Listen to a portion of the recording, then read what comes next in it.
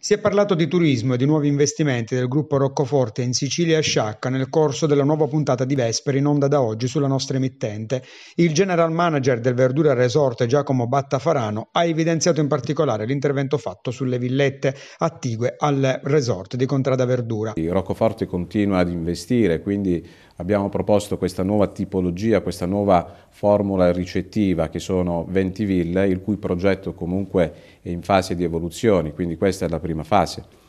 E ci hanno dato, devo dire, grandissima soddisfazione, siamo rimasti anche noi abbastanza colpiti da quello che è stato il notevole interesse e ancora una volta aver conquistato una fascia di mercato nuova, quindi questo significa ancora una volta incentivare ovviamente la destinazione, far conoscere voglio dire, una, uh, una parte dell'Italia, una, una, parte della Sicilia e quindi raggiungendo appunto Sciacca. L'intero progetto comunque prevede la realizzazione di ben 87 ville, quindi questa è stata la prima fase, quindi continueremo con questo sviluppo e le tempistiche ovviamente uh, non siamo in grado in questo momento, abbiamo appena terminato la prima fase, vogliamo assestarci per poi continuare voglio dire, ad investire intanto sul verdura. Il verdura comunque si estende su un parco, su un territorio enorme, sono ben 230 ettari e quindi per sostenere vuol dire questa azienda c'è ancora bisogno, non è ancora arrivato all'apice e quindi continueremo intanto ad investire sulla destinazione Sciacca.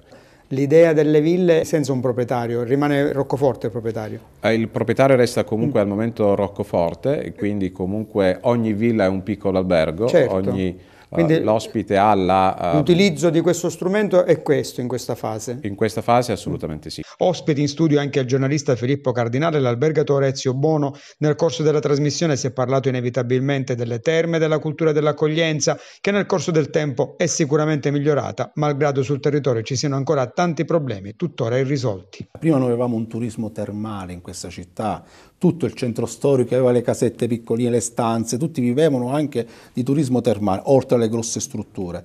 Purtroppo dobbiamo accettare che non c'è più il turismo termale in questa città, lo dobbiamo accettare.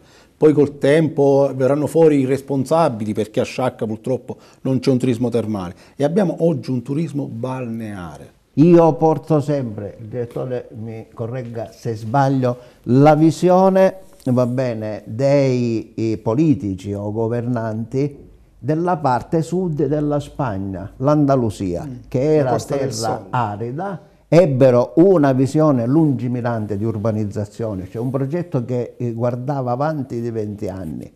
E allora eh, lì si trasformò e diventò tesoro quella costa del sole, quella, quella, la costa andalusa, con le infrastrutture, eh, con 100 campi da golf,